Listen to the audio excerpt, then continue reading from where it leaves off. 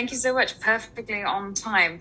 Right, next up, we've got Joran, who's going to be telling us about ViewStamp replication made famous. A long time ago in Africa, my great grandfather was struck by lightning three times. On three occasions, he survived, and here I am today to share three lightning insights with you on ViewStamp replication and how to go from paper to production. These three insights are based on our team's experience implementing VR for TigerBeetle, a database being developed by Coil with first class accounting primitives to do 500,000 financial transactions per second for new open standards such as Interledger and Mojaloop.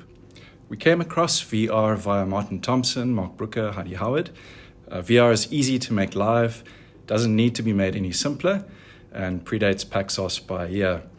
Uh, the protocol does a round of Paxos to elect a leader and then has the leader order multiple rounds of replication until it fails, uh, which leads us to the first insight from the University of Wisconsin Madison. Um, most multi-Paxos implementations based on Raft only have a network fault model. They don't have a storage fault model. If a corrupt disk sector develops in the middle of the log, they conflate this with a system crash and delete the rest of the committed log. By contrast, uh, VR's leader election and replication protocol is in memory and doesn't place any demands on the disk for correctness. If you do need to replicate a disk, then the control protocol from Protocol Aware Recovery for consensus based storage shows how to maximize disk redundancy to guarantee that committed entries will never be lost as long as one copy of an entry remains, and that the cluster is unavailable only when all copies are faulty, but not before. The second insight is that VR's leader election is deterministic. No delays from randomized timeouts, no split votes. You know who the next leader will be. This is a game changer. You can use flexible Paxos to replicate synchronously to the leader plus the next follower with async replication to the rest.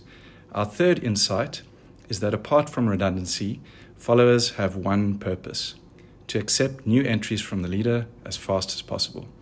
However, in the VR paper, if a follower sees a newer entry than they were expecting, they must first do a state transfer to catch up, adding latency in the critical path. Our solution is for each entry to include a back pointer to the previous entry's checksum.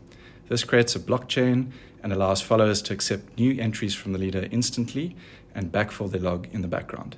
This also reduces the do view change message to a single network packet. I hope you enjoyed these insights. If you want to see VR made famous, or if you teach consensus to students, uh, please drop me an email if you'd be excited by a VR Bug Buddy challenge. Thank you so much. Right, next up we've got Martin, and Martin is